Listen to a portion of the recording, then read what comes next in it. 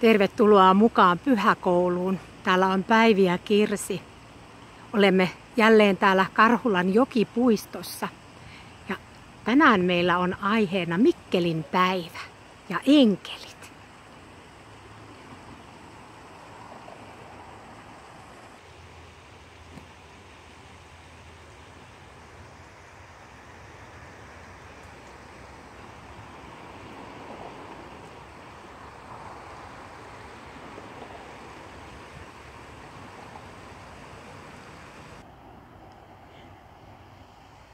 Soitetaan nyt kirkon kelloja merkiksi siitä, että olemme koolla isän ja pojan ja pyhän hengen nimessä.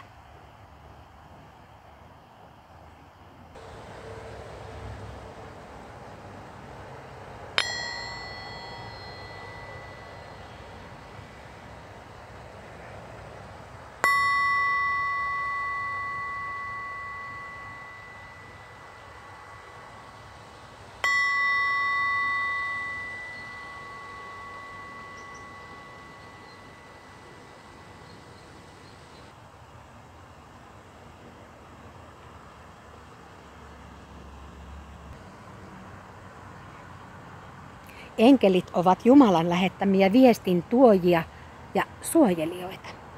Tiedätkö sinä, minkä nimisiä enkeleitä on raamatussa?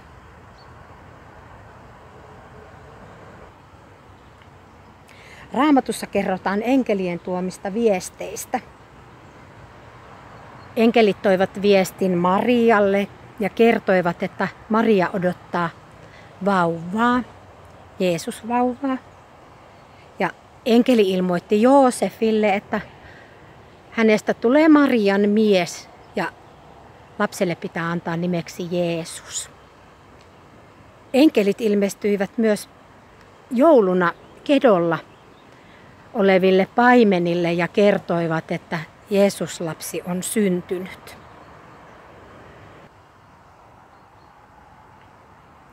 Enkelit ovat meidän turvanamme yöllä ja päivällä.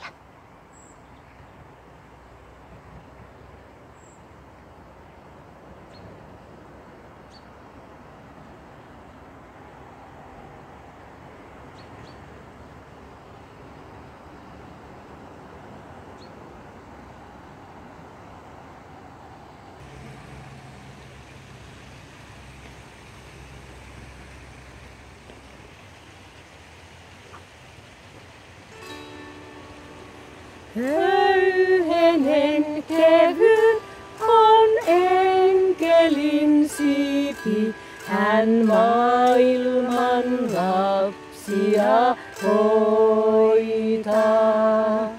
Höyhenen kevyt on enkelin siipi, hän luojansa voimakaan.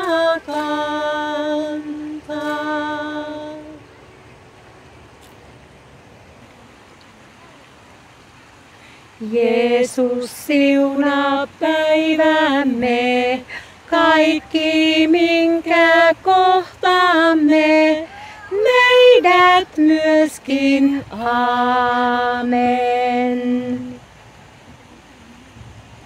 Kiva, kun olit mukana pyhäkoulussa. Tule taas mukaan ensi kerralla.